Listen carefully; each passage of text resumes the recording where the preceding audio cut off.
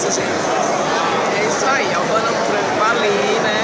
Nós estamos, estamos na Bienal de Itabaiana. daqui aqui, ó, lotado de gente, né?